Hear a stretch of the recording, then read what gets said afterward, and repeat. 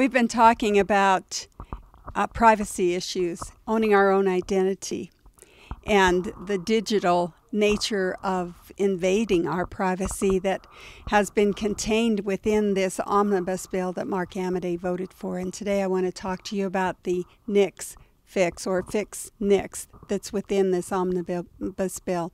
And it's really designed to go after the perpetrators of school murders. But what we know is underlying is that they really want our guns. And this is probably the most uh, curious way that they have decided to do that, in that they have decided to incentivize government agencies to data mine their uh, groups that they service and put those into the NICS background checks so that if you're a senior citizen and get a check from the government, that check now qualifies you to be in this database that will go toward that background check.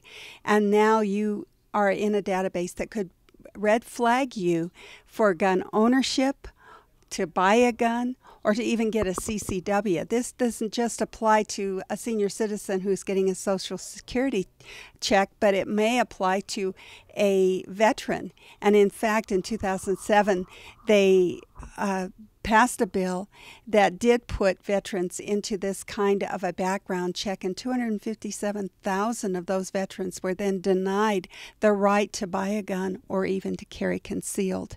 So, this is something that's going to invade all of our privacy in some way if we have uh, any kind of a um, liaison or a, a meeting with a government agency that's collecting data on us, and this is private data. Things like, did, have you ever suffered from postpartum depression? That might get into this database and be a red flag for you with a psychiatrist saying, Well, I don't think that person's fit because they took this drug or that drug.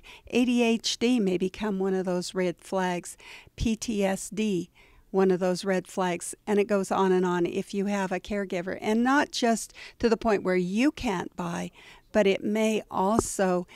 Um, become a problem for those who are have a gun inheritance and not being able to get that inheritance because of this red flag that was put on the person that had the the um, guns that you were supposed to inherit. So it, it really is one of those insidious things where the government now has put everything in this omnibus bill and is trying to come in around a back door. Not to say you can't own a gun or you can own a gun, but to just put in that database those things that might restrict you from owning the gun. And today I'm talking here with John. And John, I, I want to have your feelings. I you you kind of have heard my feelings on this fix NICS bill and and uh, what I believe is a backdoor. Talk to me about how you feel about um, just what's going on with the government these days and our Second Amendment rights. Well, you used a word that I would have used: insidious. It's a way for the government to get around all of the laws, to, to circumvent the law to affect those of us who want to buy a gun or to own firearms. Um, I have long held, and I appreciate your saying school murders as opposed to school shootings. I have long held that gun free zones are nothing but target rich environments. We need to do something to protect the schools not take guns away from citizens. I've done nothing as far as any of the school murders are concerned. I haven't even been near a school. Um, I'm retired law enforcement. I I think I know the law pretty much uh, down to the bottom line. Uh, I follow the law. I also protect myself. I protect my friends and my family if that came necessary. I would pre- protect the people in my church because I also carry a gun in church. Again, uh, gun free zone, target rich environment. Um, according to our Constitution, the government is not supposed to build databases of gun owners. And that's what they're doing. They're violating federal law. Well, now, technically, technically, they're not going to make a database of those of us who own a gun. They're just going to make a database of those who can't own a gun, of those who uh, they think are dangerous for some reason. They become dangerous or a threat to us, and so they can't own a gun. And but the the criteria is so broad that most of us will get caught in that net. So uh, that's why I say they came in the back door at us with this. I was going to say you don't really believe that crap, do you? um, it's just more lies. Look, what what we have to realize is that there are 535 people in Washington, D.C., who are totally corrupt and they don't care about you or me. They feather their own nests. They're all multimillionaires. They all have a great retirement plan. Every single one of them does not have to worry about the Affordable Care Act or Obamacare. And every single time they pass a bill that affects you and I, they exempt themselves from it. We have a corrupt government. Period.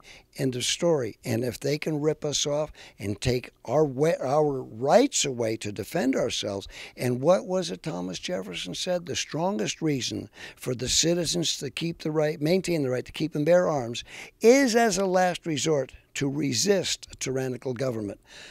Guess what, folks? Get in line. It's it's there. It's there now. You are feeling it right now. I, I think uh, you're feeling it more so because here we are standing in a gun store and uh, we're feeling uh, this reaction to, as I say, to these school murders because we know that shooting is a sport and they've taken our words and now they're making a different meaning for those words. And we've got to quit talking with their narrative. We've got to quit speaking their language. Exactly. But um, exactly. but we know that there's been all these protests against guns, and yet guns aren't what caused these school murders. Well, why don't we start protesting against cars?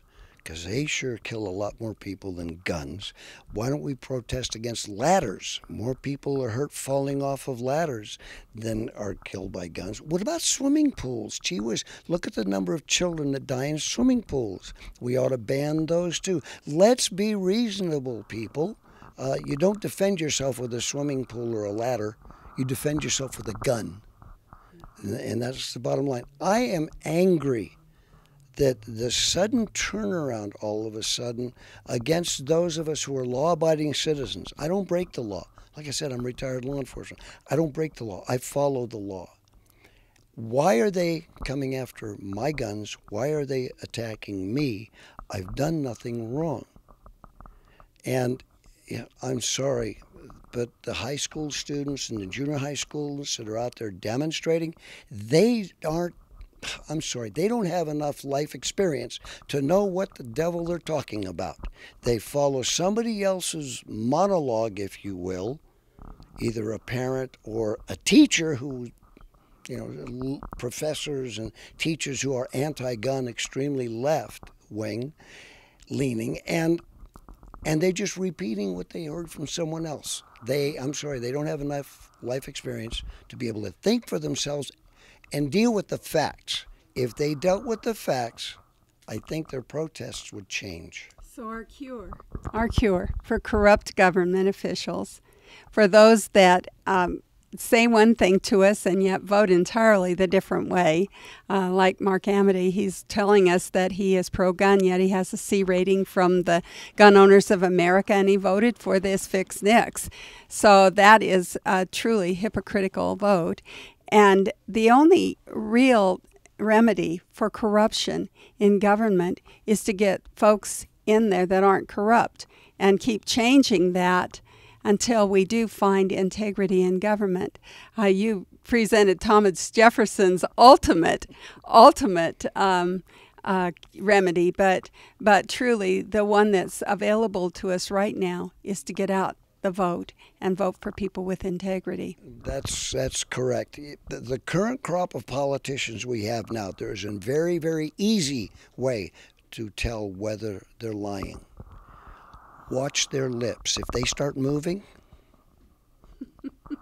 Well, I know there's many Americans and many Nevadans that agree with you, John. Thanks so much for for talking with me about Thank- this issue thank today. Thank you, Sharron, for your efforts. We really appreciate it. We do. We appreciate you and what you're doing for us. Thank you. Those are kind words.